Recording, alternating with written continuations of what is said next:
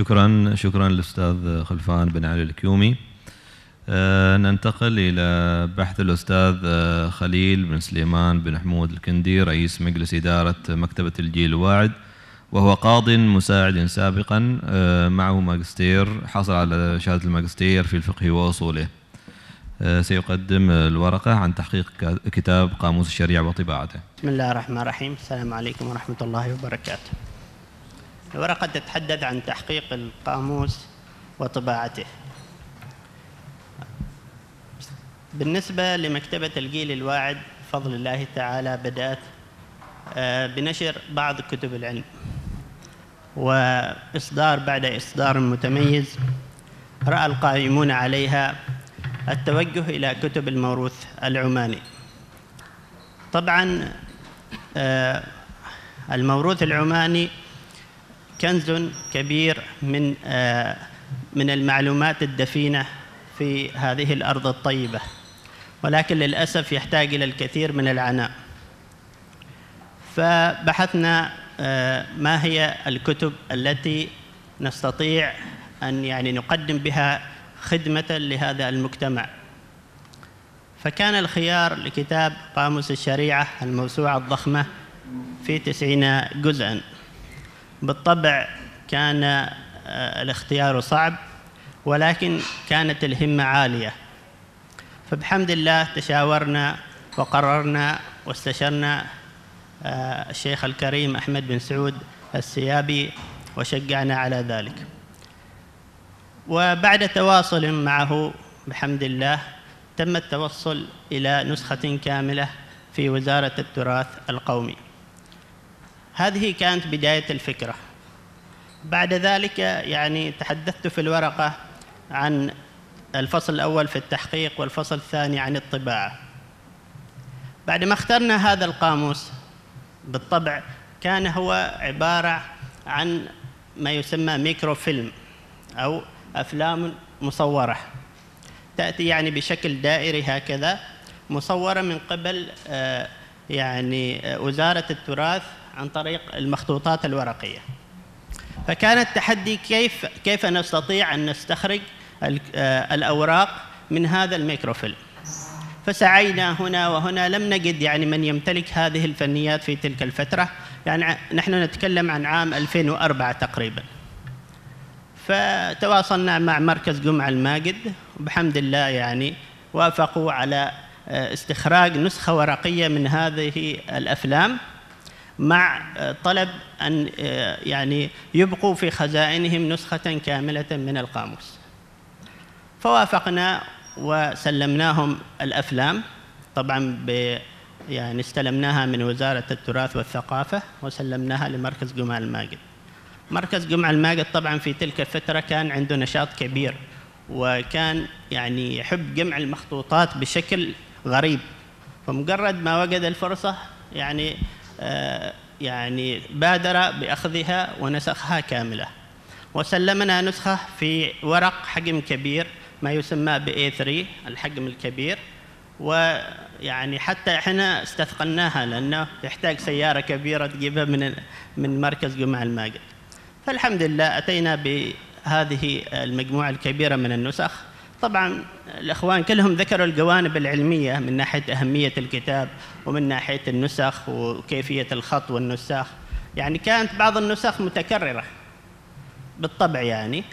فيكون الجزء مثلا 23 نسختين و46 أذكر وعدد كبير من النسخ أجزاء. فجبناها كلها بحمد الله.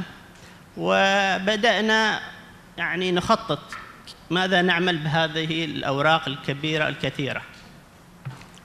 فيعني بادرنا إلى الإخوان من الزملاء من الباحثين ومن المتعلمين كل واحد يستلم جزءا ويخطه بيده ويأتينا بعد ذلك مطبوعا في الحاسوب. لكن المسألة طولت وبعض الإخوان يعني في البداية تكون عنده همة. بعد كم شهر لا نجد منه ردا ولا جوابا. فالمسألة طالت والتحدي يزيد والحماس يعلو ويخفو. ففي بعض الأحيان نقول خلاص يعني صعب أن نكمل هذا المشروع. لكن الحمد لله نشجع بعضنا بعضا ونعود من جديد ونرتب الأوراق. حتى في فترة صار مثل ما تعلمون كان الأنواع المناخية هذا مسمى جونو ودخلت علينا في المخازن وصارت إشكالات عند الإخوة فهذه أطالت من عمر السنوات هذه. قمنا بعد ذلك بتشكيل فريق برواتب. آه، وكان في البداية في الجزائر. ليش؟ لأن في الجزائر يوجد هناك طلبة مستعدون وأيضا يعني رواتبهم أقل من في من رواتب الطلبة في عمان. وطبعا نحن يعني ما كان همنا إخراج القاموس بأي شكل. كان بالإمكان الاتفاق مع أي مكتبة تجارية وإعطائها مبلغ وتخرج القاموس مثل ما خرجت كثير من الكتب من قبل بعض المؤسسات الحكومية. لكن في النهاية كيف هذا الإخراج؟ ما مدى ضبط النص؟ كان هذا يهمنا كثير. يعني ما مجرد أنك أنت مسكت المخطوط وطبعته بمعنى أنك قمت بالعمل. كيف هذا المخطوط يكون فعلا طبق الأصل. كيف أنك تراجع الكلمات كلمة كلمة؟ كيف تعطي ناس مختصين يقوموا بعمل مراجعة هذه الفقرات؟ فكان تحدي. يعني اضطررنا نعمل مثل ثلاث شرائح أو ثلاث مراجعات. البداية بعدين المقابلة بعدين يعني مقابلة على المقابلة وبعد ذلك أيضا المصطلحات. ما كنا نحب أن نعطي هذا الكتاب لغير آه، أهل البلد. لأنه في ألفاظ ما يعرفها أحد غير أهل البلد. وفي تواريخ وفي أسماء وفي تاريخ كبير يعني الأخوة جزاهم الله خير أثبتوا الكثير من المعلومات في ذلك. فإذا إحنا سلمناها لأي جهة حتى المغاربة ما يقدر يعني يعرفوا أسماء البلدان وأسماء الأعلام وبعض الألفاظ اللي هي قد تكون باللهجة الدارجة العمانية. فانتخبنا بعض الأخوان من الجزائر والبعض من عمان وتم تسليم يعني رواتب شهرية. إلى آه، تقريبا عام 2008 بدينا نهتم أكثر آه، آه، بعملية الرقم تقريبا انتهت. بقى عملية المراجعات. أتت إلينا فكرة المراكز الصيفية. هذه الفكرة يعني نجمع مجموعة طلبة لأن للأسف أنا سامحوني يعني يعني قد يكون أقفز عن النمط هذا المتسلسل من من الجمل أو الفقرات حتى أختصر يعني. المسألة أن الشباب الدكاترة الأساتذة كلهم يعني منشغلين بأعمالهم. ما حد فاضي لما نعطيه يكون فاضي دائما يكون مشغول.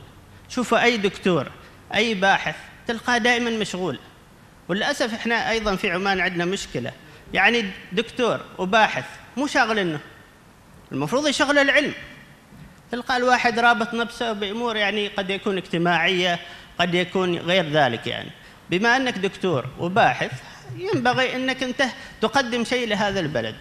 فالحقيقة بعض الأخوان بدأوا لكن ما وجدنا ما وجدنا يعني الهمم متواصلة لدى الجميع فاخترنا المراكز الصيفية فأحضرناهم تقريبا على ثلاث دفعات سنة 2011 و2012 وهنا مكتوبة التواريخ و2013 الشباب طبعا جاءوا من الجزائر مع الشباب من عمان واجتمعوا لمدة بعض الأحيان شهرين بعضهم ثلاثة. طبعا في تحديات مالية كبيرة يعني من ناحية السكن تصوروا من ناحية الأكل من ناحية التذاكر من ناحية أيضا هذا الشباب لازم يستلموا مبالغ معينة. فجزاهم الله خير يعني قاموا بالجهود هذه فحبسوا أنفسهم لمقابلة النسخ واستخراج يعني آه، ضبط النص ضبطا بحيث عاد آه، مسألة التحقيق إحنا آه، يعني في البداية حاولنا نحقق ولكن طبعا المسألة صعبة جدا. فقلنا نخرج النص مضبوطا والبقية على الشباب يعني من الباحثين. عندهم الكتاب جاهز ويشتغلوا فيه.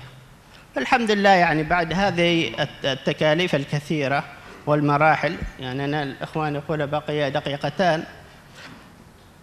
هذه المراحل الطويلة يعني ما تتصوروا المسألة المعاناة والتعب. يعني يمكن يكون الإخوان أنتم جالسين اليوم في ندوة. شفت في نهاية الندوة كم واحد بقى؟ وين الشباب؟ وين الهمم يعني؟ آه الشيخ جميل كم مرة كتبه بيده؟ يعني ما في همم ما نعرف هذا الإخوان على إيش يعني مشغولين؟ إيش هام منهم؟ إذا كان أنت طالب علم وإذا كان تهم يعني يهمك مسألة العلم يعني ما عندك قدرة حتى تجلس في ندوة تشجع الأخوان؟ فالمشكلة يعني فالمشكلة يعني يعني انتهى الوقت حسب كلام الإخوان. لكن إحنا نرجو يعني العمل كان طويل. فيعني لو كم دقيقة هذا شيء هام لنا حتى أوضح هذه النقاط. أنا الجانب العلمي يعني جزاكم الله خير. لكن إحنا نريد كتب أخرى. بيان الشرع على فكرة إحنا رقمناه كامل. وحد من الأخوان الجزائريين اتفق مع الوزارة وأعطيناه إياه كامل. هو كان شغال عندنا. فاللي نطلبه من الأخوان إنه هذه التجربة اللي أنا أقولها تجربة حية. يعني الكتاب وصلت تكاليفه 250 ألف ريال. بعض الأخوان يقول غالي. طيب هل أنت مستعد تدفع هذا المبلغ؟ خلال هذه السنوات ما كان أحسن تبني بناية؟ لكن يعني إحنا ما كان همنا المسألة المادية. يعني فوق 100 نسخة تم توزيعها على الأخوان. طبعا يعني ذاكر أنا بالنسبة للشباب آه، العمانيين أنهم راجعوا النسخ بعد ما انتهت. حتى نتأكد أن هذه الألفاظ هذه الألفاظ كلها يعني مراجعة من قبل عمانيين.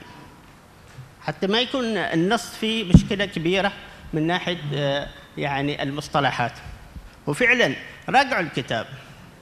كم نسبة الأخطاء في الكتاب مقارنة مع غيره؟ كتاب 90 مجلد راحوا 90 مجلد فيعني الحمد لله نظن إن إحنا وصلنا لمستوى مقبول. طبعا الخطأ وارد لكن مستوى مقبول جدا. وذلك بسبب الدفع بسبب المراجعة بسبب تكاليف. نصل إلى هذا. إحنا ما يهمنا. دفعنا 250 ولا 500 إيش يعني؟ الفلوس تجي وتروح لكن هل هذا يبقى؟ يعني هذا الكتاب إذا انتهى الحين من المكتبة ما يطبع. تعرفوا أن تكلفة الطباعة مئة ألف ريال؟ يعني التكلفة فقط فعليا يعني. هذا الورق بس قيمة التقليد والورق. ما أتكلم عن الإعداد. الإعداد 150 ألف. طبعا لو إحنا الحين مسكنا هذا الكتاب بعد الخبرة الطويلة ممكن يكلفنا نصف المبلغ أو يمكن يكلفنا كذا لأن عندنا خبرة. لكن أنا أتكلم عن اللي صار. بسبب إيش؟ بسبب إن إحنا تجربة جديدة. وبسبب إحنا أيضا يعني ما فاضيين عندنا مشاغلنا وعندنا أعمالنا. والحمد لله يعني الأخوان ما قصروا وهمم كانت كبيرة. وبالنهاية يعني أريد كلمة بسيطة جدا. يعني بالنسبة للشباب اللي يظنوا هذا الكتاب غالي الحين تو نزلناه إلى 250 ريال. طبعا المؤسسات الحكومية ما فيها دعم. دعم ضعيف. يعني يمكن اللي بعنا لهم 30 نسخة. فقط يعني. ما ما كثير يعني مهتمين. يعني لأن أي واحد من الإخوان أراد يخرج موسوعة أو أراد يخرج كتاب ما يفكر في الجانب المادي. خلي الجانب المادي آخر شيء. ما تحصل فلوس من الكتب. إذا تريد كتب روح السوق إذا تريد فلوس روح السوق روح اشتغل. لكن الكتب هذه للعلم للمعرفة للاطلاع. طبعا الإخوان العلماء والأساتذة أدرى بهذا الشيء مني. فيعني خلي الهمم تكون عالية وانسى مسألة التكاليف. هذه النسخة إذا أخ... يعني خليت نسخة في بيتك لأولادك لأحفادك.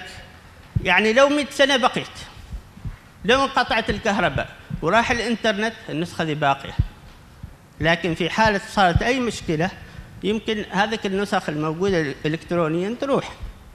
في النهاية أيضا آه، هو هذا الكتاب يعتبر مثل القرص المجموع فيه ألف مجلد فكتب الشيخ جميل كل هذه المعلومات السابقة وجمع هذا الكتب كما ذكر أخونا الأستاذ خلفان وجمعهن مثل القرص بالنسبة لهم في ذاك الزمان. ما يحتاج قرص مثل الحين الباحث يعني.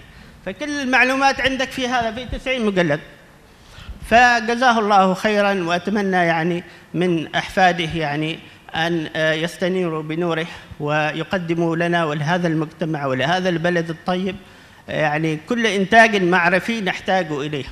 واعذروني لعلي خرجت عن سياق الحديث عن الورقة ولكن يهمني في هذا الموضوع الأمر يستمر. نريد دور النشر تكون قوية. نريد الحكومة تدعمها. إن شاء الله عشر إن شاء الله عشرين دار نشر ما يهمنا. لكن هذه الكتب لازم تخرج. وأنتم يا شباب يعني لا يعني لا تدخروا جهدا. ولا تظن الأمور كلها من ناحية مادية.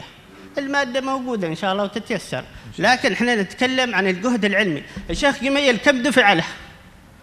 كم من دفع له يكون يكتب 90 مجلد حتى قيل لنا يده التوت يعني. مرتين حد قال وقال ثلاث مرات كتبهم بيده. من دفع له حتى يسوي هذا الشيء؟ فالأمور ما كلها مسألة مادية. هي مسألة همم ورغبة وقناعة. ونسأل الله تعالى يعني التوفيق لنا جميعا وأعتذر من الأخوة آه، على الإطالة وجزاكم الله خير.